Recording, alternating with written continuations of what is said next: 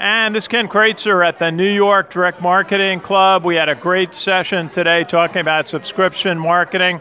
And I have a chance to talk with uh, Robert Manger, who is with Sandvik Publishing Inter- Interactive. And Rob, a good session today. Uh, one of the things I, I, you know, m- the panelists were talking about was just the importance of creating a positive online experience for, for a customer. What are your thoughts about the keys to just providing a good experience online for customers? Yeah, I'd say it's an expectation among customers today. I mean, they're, they're expecting to be able to have full control over memberships and their entire experience. So our ability to provide that through technology is key and, and available, readily available now with today's uh, technology and um, uh, da- you know, database uh, advancements. Okay. And one of the things that I was brought up was how to source customers. So much of this is through digital through social media, and even through email. What, what are the keys you find in just sourcing customers, bringing attention to your, to your publishing items?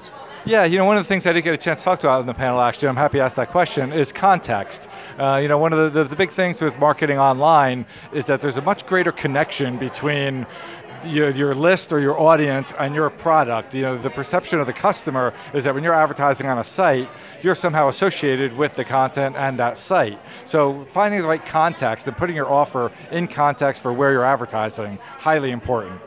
Actually, one of the points that you brought up, which was so important, it's one thing to help a customer find the one item that they are looking for, but then trying to help them find the next big thing, the next item, they may not, not have even been thinking about, but you can show them uh, kind of the equivalent of helping them browse through a bookstore uh, uh, aisle. What are your thoughts about helping customers find the next item that they may be interested in purchasing? Well, I, th I, think that's where the power of subscription marketing is really coming from, is the, the marketer's ability to introduce people to products that they didn't know existed before.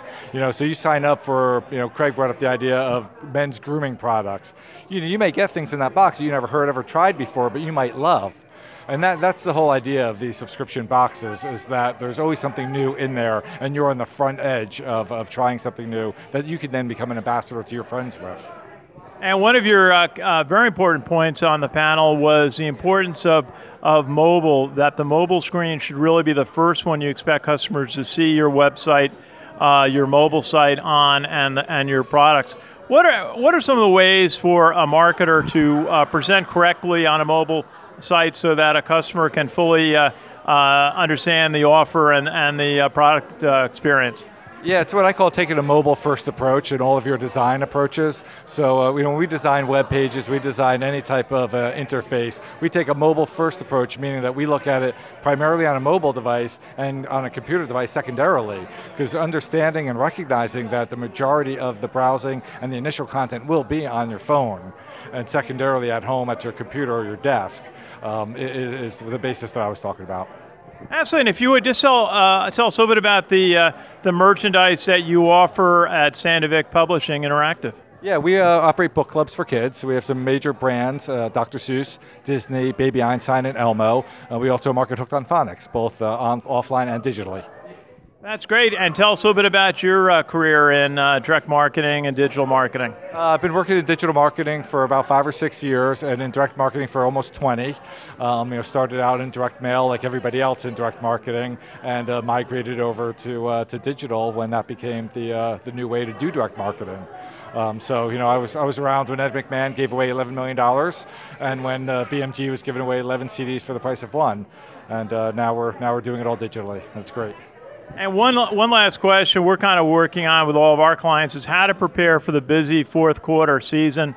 Uh, you're talking about a lot of these things being your merchandise, your offers being great as gifts, uh, perhaps from grandparents to children. What are some of the ways for an online marketer to uh, be more visible in the important fourth quarter sales season? Uh, make the conversion process simple. Uh, don't make it overly complicated. Uh, let people do what they need to do, buy what they want to buy, and move on to the next task. Because the holidays are hectic, and uh, people are looking to get through the, the conversion process and move on to the next one. That's great. Robert Manger from Sandvik Interactive Publishing. Our best wishes. Great to have you here at the Direct Marketing Club of New York. Great. Thanks a lot, Ken.